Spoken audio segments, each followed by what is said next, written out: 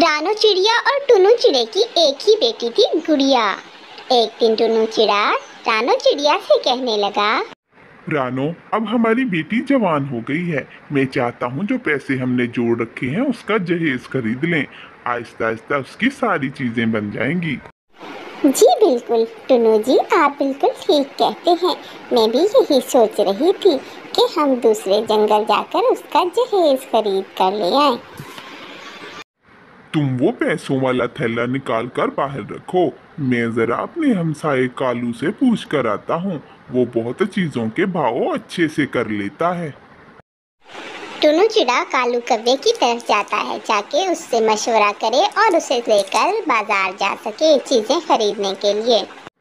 अरे आओ आओ टुनु खैर तो है इतनी सुबह सुबह कोई परेशानी तो नहीं है ना यार टुनु नहीं यार, कालू, परेशानी की बात नहीं है। मैं चाहता था कि तुम मेरे साथ दूसरे जंगल चलो, कुछ सामान खरीदना है गुड़िया का।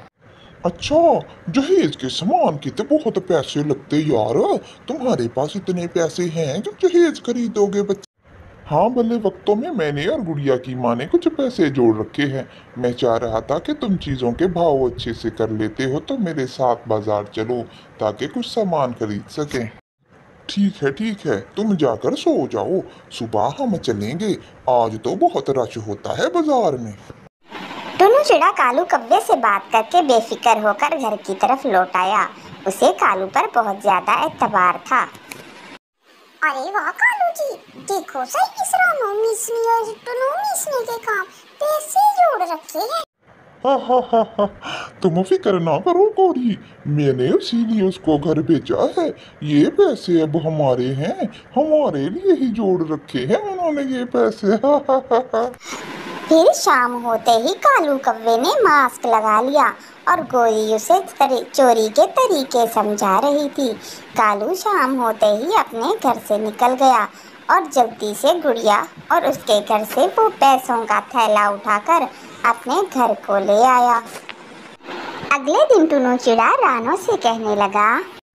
रानो मुझे वो पैसों वाला थैला ला दो ताकि हम दोनों सुबह सुबह निकलें और जल्दी से गुड़िया का सामान ले आए। हम लुट गए हम लुट गए टुनु जी। हमारा वो पैसों का थैला कोई रात को चोरी करके ले गया है। मैंने बहुत ढूंढा है मुझे नहीं मिला। टुनु चिड़ा तो ये सुनकर परेशान हो गया। रानो तो रोए जा रही थी। उन दोनों की ज़िंदगी भर की कमाई थी। टुनु चिड़ा अपने नज़दीक के हमसायों से पूछने के लिए घर से निकल आया। यार कबूतर मेरे घर पे चोरी हो गई है। मेरी ज़िंदगी की कमाई लुट गई है। मैंने अपनी बेटी के जहेज के लिए पैसे जमा किए थे। कल रात कोई चोरी करके निकल गया। तुमने तो नहीं देखा। ओए यार, ये तो बहुत अफसोस हुआ सुन के। नहीं यार, मैंने तो किसी को भी आते जाते ना देखा। कबूतर से पूछकर टुनु चिड़ा जा रहा था कि उसे रास्ते में मिट्टू तोता नज़र आया। मिट्टू तुम रात भर जागते हो। क्या तुमने किसी चोर को मेरे घर की तरफ़ आते देखा? वो मेरा पैसों का थैला ले गया है। ओहो ये तो बहुत बुरा हुआ टुनु। लेकिन यार मैं रात भर जागता हूँ पर मैंने तो किसी को नहीं देखा। सबसे पूछताछ करके मायूस होकर टुनु लौट रहा था कि उसे गोरी नज़र आई। किधर फिर रहे हो टुनु जी? सुबह से कालू आपका इंतज़ार कर रहे हैं। किसी काम पर नहीं गए। आप आए ही नहीं। मैं आ रहा था गोरी बहन।